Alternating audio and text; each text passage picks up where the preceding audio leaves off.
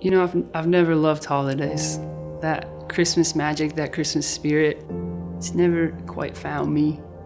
Christmas always felt more stressful than anything else. And a lot of it felt a little fake to me, like let's all pretend that we love each other and this is great for this one day a year.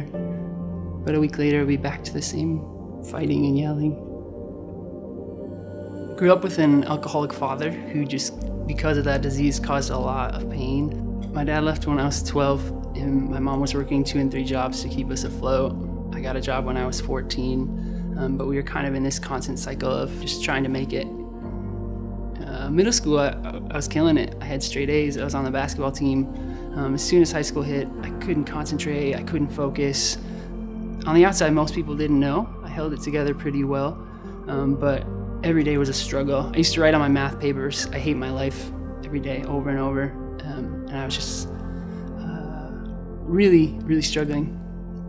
The one thing I really did enjoy was music, and so after high school, I went off to college to be a music teacher, but my problems followed me, so I started to cope with drinking, and uh, inevitably that made everything a lot worse.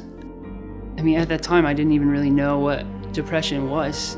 I never knew that just simply being alive and breathing could hurt that much that I could be trapped just in this this room, this prison of pain, of, hating who I was and not wanting to be alive. And you know, late at night, I, I would start googling um, suicide, and more and more those thoughts crept in.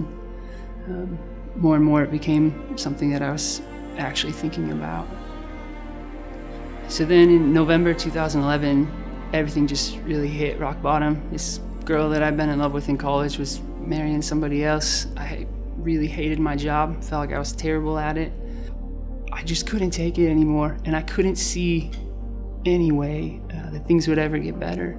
And so I gave myself an ultimatum. I decided that on December 25th, on Christmas Day, either I would take my own life or I would never think about suicide again. Like, enough was enough.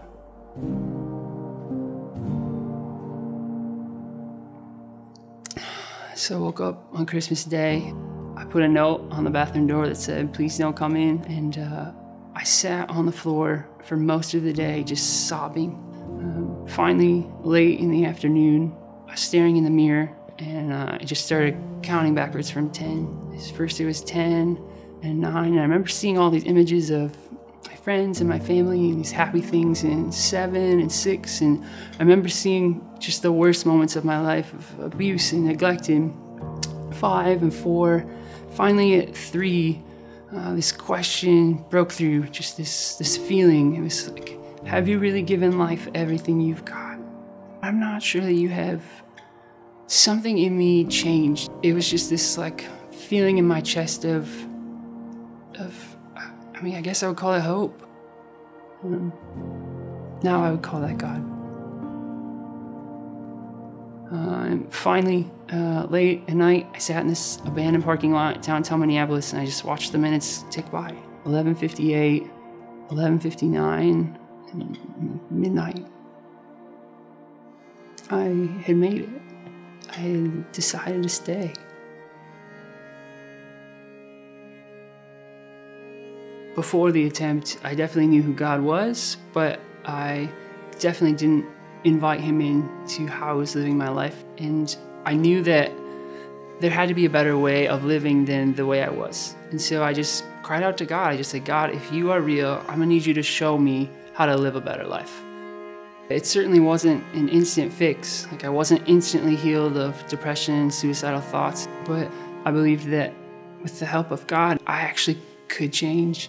I could pick up the pieces and every time I took just a little baby step in following him, uh, and whatever that looked like, whether that was in the counselor's office or into church when I didn't feel like it, every step just was this slow process. Um, and I woke up seven years later at, at 30, and, and life's pretty good. Today, I teach elementary music to first through fifth graders, and I love my job most days. I started my own ministry. I get to travel all over the country and talk to people and kids who might be battling depression and suicide and, and tell them that there's hope. And through all of it, just the trajectory of my life changed. That moment when I decided to, to truly follow what God had for me.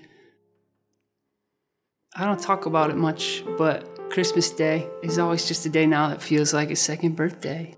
Now it's this day that I not only celebrate that God sent Jesus in the world for us to help us, but it's this day that that God showed up for me and, and saved me and gave me a new chance and a new life. In Christ alone, my hope is found. He is my light, my strength, my song. This cornerstone, this solid ground, firm through the fiercest drought and storm. What heights of love, what depths of peace, when fears are still, when striving cease, my comforter, my all in all. Here in the love of Christ I stand.